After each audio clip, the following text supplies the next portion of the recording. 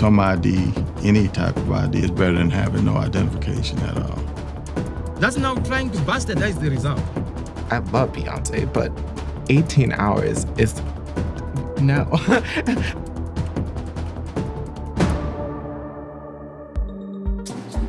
Special counsel Robert Mueller is in discussions for an interview with Russian pop star Emin Agalarov, who helped broker a meeting between Trump campaign officials and a Russian lawyer in June 2016. Agalarov's lawyer says both parties haven't yet reached an agreement.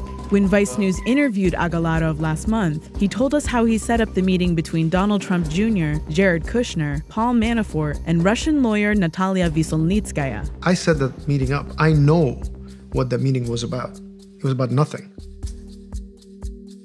The Catholic Church has updated its official teachings to oppose the death penalty in all cases, calling it a quote, attack on the inviolability and dignity of the person. The Catechism previously endorsed executions if it was the only way to protect lives. Pope Francis says the Church will work to abolish capital punishment, which is still legal in 53 countries.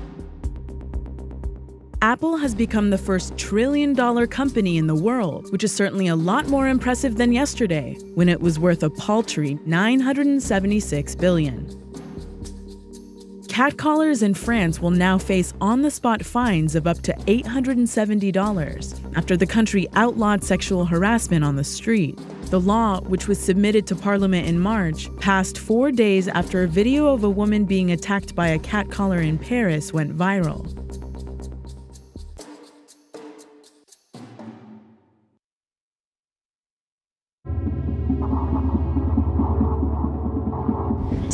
The Trump administration announced its official proposal to roll back Obama era limits on pollution from cars and small trucks.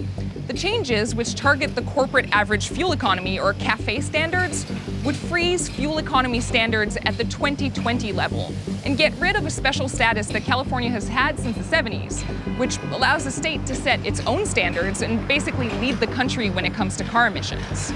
But first, the Trump administration has to sell the proposal. To do that, Secretaries Chao and Wheeler co wrote this creatively titled op ed to lay out their plan. But the real way it's selling the rollback is by making an argument that dirtier cars make you safer.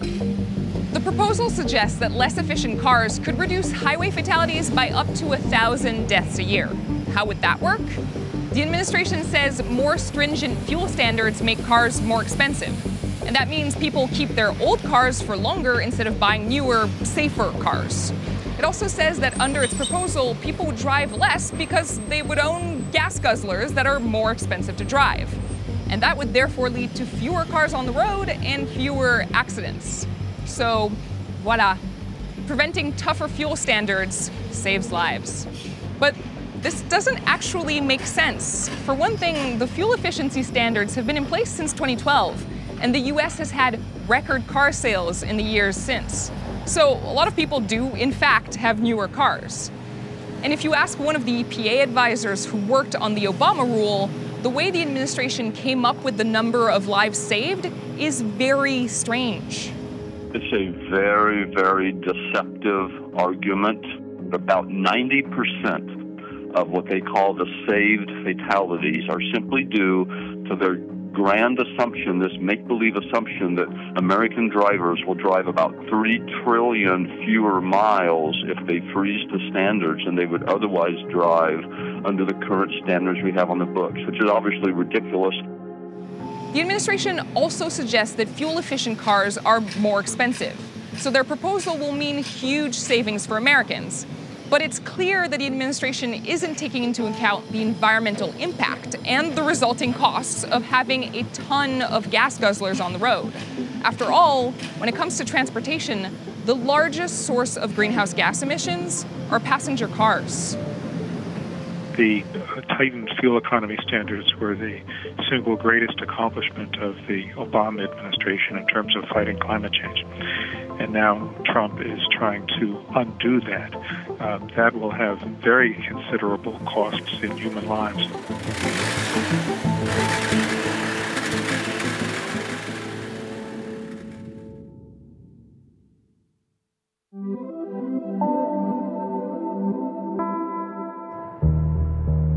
Sanctuary cities just got a little bit safer. Judges ruled against President Trump's 2017 executive order, saying the government would withhold funding from cities that don't cooperate with ICE. The Ninth Circuit Court of Appeals ruled yesterday that only Congress can block federal funding. The Department of Justice called the ruling a victory for criminal aliens. Some state governments are opposed to sanctuary policies too. Texas Senate Bill 4, known as the Show Me Your Papers Law, allows officers to ask anyone they detain to reveal their immigration status. And opponents say it's enough to keep immigrants from asking for help or reporting crimes. So Catholic parishes in Dallas came up with an idea. They'd start issuing IDs themselves.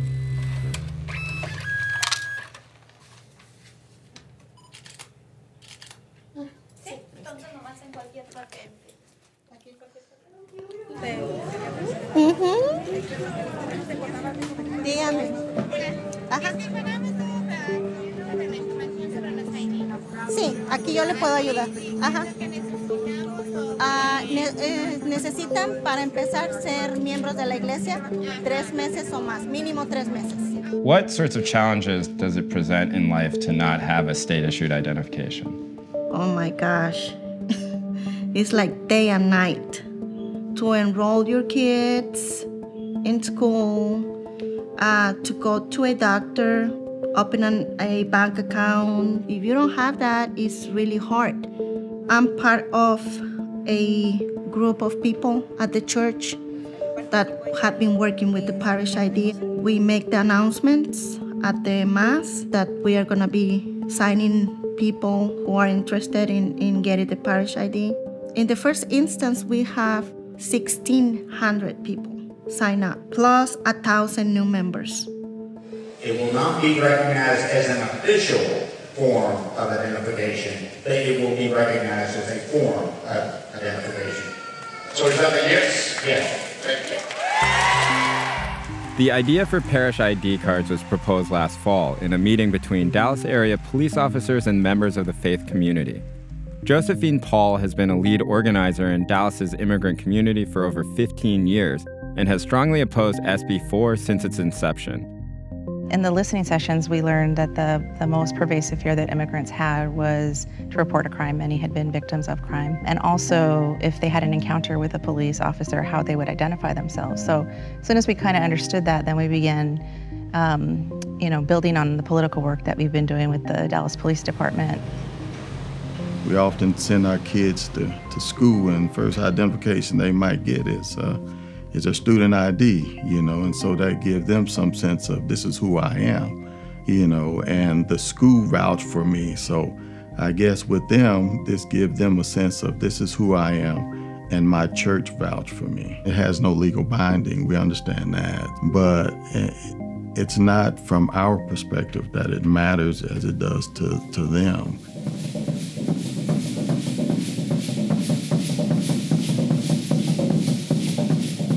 Esto en el acuerdo que por parte de la iglesia de la diócesis de Dallas se hizo con la policía, de que ustedes tuvieran un documento en dado caso de que al ir conduciendo les diera una infracción y no tuvieran ustedes con qué identificarse, no los iba a llevar a inmigración, sino que les iba a dar simplemente la identificación, digo, la, la amonestación, si tenían ustedes esa identificación.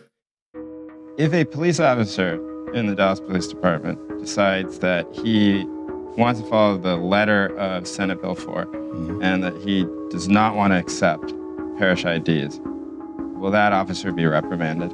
Oh, of course not. I mean, with officer using their discretion, you know, they can weigh in on the totality of the circumstances in which they come in contact with a person. That goes back to saying some ID, any type of ID, is better than having no identification at all. The parish ID program started so that undocumented immigrants will feel more comfortable talking to the police, right? If it is up to every single individual officer's personal discretion whether or not to accept parish IDs, don't you think there's some fear that you're actually putting like a false hope in some of these undocumented immigrants by just giving them something that doesn't have to be actually accepted? Them reporting a crime is just as important as anyone else in this community reporting a crime. Our job is to try to create the safest community in the country. And so and it, it requires trust, and it requires building trust. Do you think that Senate Bill 4 then has eroded some of the trust between law enforcement and undocumented communities? I'm not going to comment on that.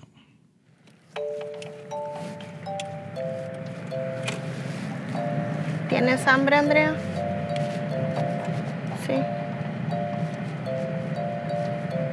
I feel more comfortable in case a policeman need uh, something with my photo that it was issued here.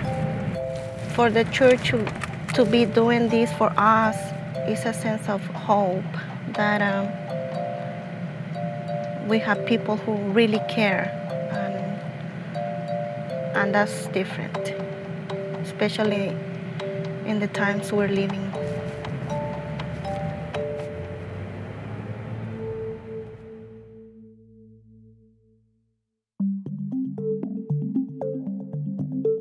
Mnangagwa Emmerson Dambudzo of ZANU-PF party is therefore duly declared elected president of the Republic of Zimbabwe with effect from the 3rd of August 2018. Today, Zimbabwe's election commission announced that Emmerson Mnangagwa has won the race for president. But he's been doing that job since November, when he took over from his longtime ally Robert Mugabe, after a coup ended the dictator's 38 year rule. Anticipating the news, the military and police put the capital city Harare on lockdown after at least six people died in protests on Wednesday. The protesters support Mnangagwa's opposition, the MDC party. Their presidential candidate, Nelson Chamisa, says he won the popular vote, and he's accused the Election Commission of delaying its announcement to rig the results. Because that's now rigging, that's now manipulation. That's now trying to bastardize the result. The ruling ZANU PF party says Chamisa is responsible for the violence because he declared victory a day after the polls closed, but before results had been finalized we hold the opposition MDC alliance and its whole leadership responsible for this disturbance of national peace, which was meant to disrupt the electoral process. The vote itself was relatively peaceful, and the Election Commission says turnout was high, at 75% of voters. But EU observers noticed irregularities. While political rights were largely respected, there was, were concerns regarding the environment for the polls. The election was supposed to be an opportunity for Zimbabwe to start fresh and focus on bigger challenges. People don't want to see bickering about the results for the next two, three weeks. You know, the, the, the economy can't wait as people bicker about the results. In other words, I think it's going to be more about expediency. Now, Mnangagwa has the difficult task of trying to unite a divided country where voters have reason not to trust the government or his party. There was such a sense of optimism about about the election, a, a real hope. People were really hoping that this election would build political reconciliation. We've been through this. It's a real sense of deja vu and disappointment.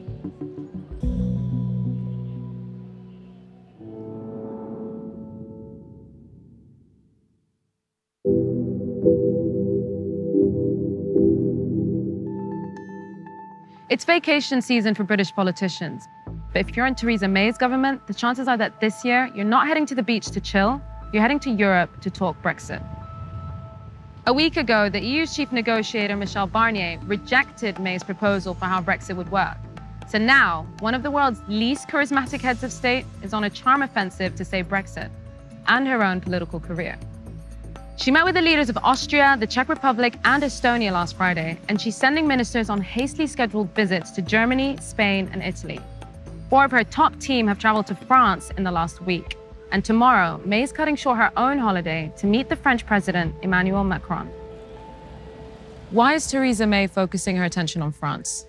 France has been the toughest on Brexit so far, um, and uh, the leader of the European Commission, who's leading the talks, Michel Barnier, has had a very tough line, and he's taking his directions really from France and Germany.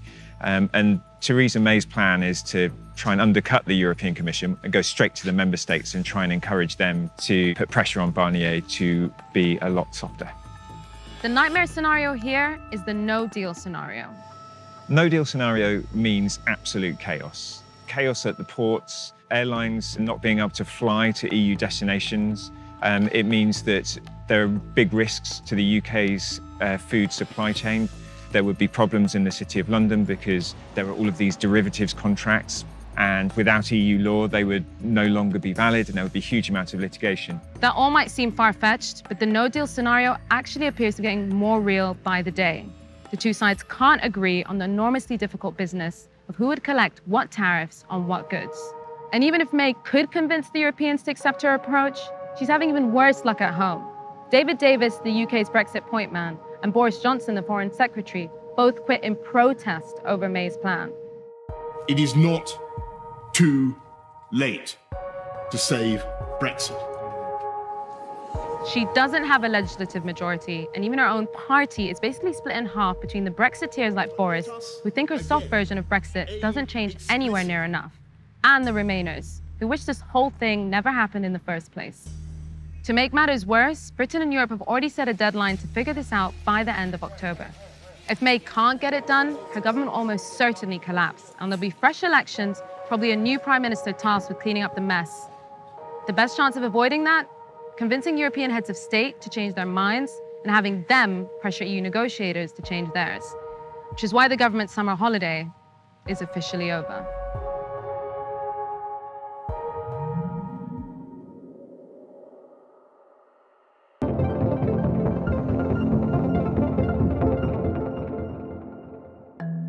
Musicians make just fractions of a penny every time their song gets played on a music streaming platform. But in 2015, one company launched with a promise to put profits and power back in the hands of artists. These artists can sit in a room together, it's, the game changes. And it happened today. After Jay Z bought the Norwegian streaming site Tidal for $56 million, he brought on 15 artists and bands as stakeholders. But when Tidal released data on its listeners in 2016, the numbers didn't quite add up. Tidal said its 3 million subscribers streamed Kanye West's The Life of Pablo more than 250 million times in 10 days, and Beyonce's Lemonade more than 300 million times in 15 days. Reporters at a Norwegian paper, Dagens Næringsliv, were suspicious of those numbers. Hi. After receiving a hard drive from an alleged whistleblower, they hired Katrin Franke to investigate. Digital Forensics Laboratory here is where it's happened. So we are the crazy, knowledgeable people in the basement who do analysis of fraud, of data. Her team found unusual listening patterns in Tidal's user data from Kanye and Beyonce's latest albums. When we got the data, we saw there's a huge amount of records being uh, registered uh, in the log files, where we wondered what is going on here? Why is this huge amount of records suddenly there? There are multiple timestamps which have exactly hour, minute, second, millisecond. And they had all the same user ID and they had all the track record, which would imply this one user needs to have 60 devices where he pushes at the same millisecond the button to play the favorite record. Likely? Mm-mm. Franke and her team say around 320 million streams across 1.7 million accounts look suspicious. The data appear to show users listening to tracks in the same patterns over and over again throughout the same day. Oh, oh wow. Okay, I see what you mean by the duplications. One of those accounts is owned by Jeremy Simmons. He lives in Maryland and adores Beyonce. Vice News combed the data from the leaked hard drive it showed he listened to Lemonade for 18 hours on one day in April 2016. Yikes, there's no way. I love Beyonce, but 18 hours is no. that leaves six hours of the day. In 2016, Tidal reportedly paid Universal $2.2 million for streams of Kanye's album through March, and Sony 2.5 million for streams of Beyonce's Lemonade through May. Fake or not, the recorded streams translated into real revenue and concentrated it in the hands of two very powerful artists. That's because musicians don't earn a set amount every time a song is streamed. They get a share of what Tidal makes. So false plays can skew the proportion, effectively pulling money away from smaller labels or independent artists. Tidal has previously disputed these claims. Tono, a company that represents more than 2.5 million songwriters worldwide, was the first of four associations to file a complaint against Tidal to the Norwegian police. What I'm hearing from the customers is that they are skeptical now to, to Tidal and can we can we trust the other music services so it's serious for the for the whole music business I believe and that is the reason for us to to take this case to the police Tidal denies the claims and told us that the information on the hard drive was stolen and manipulated, and that it would vigorously fight the allegations made by Dagens Næringsliv, which it accuses of launching a smear campaign. Tidal also says they hired an independent cybersecurity firm to investigate what it calls a data breach. Vice News made multiple requests for interviews and comments with Tidal, its artist owners, and Sprint, which has a 33% stake in the company. Some of the musicians refused to give us a comment, while others did not respond to our request. I would, yeah, basically ask, what are you going to do about this? Is it true? Is it not true? I just want them to make it right. If you didn't know it was wrong, now you do.